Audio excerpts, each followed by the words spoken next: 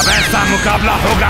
ऐसा मुकाबला होगा जैसा आज तक किसी ने ना देखा होगा और ना ही सुना होगा अब शुरू होगा सबसे बड़ा मुकाबला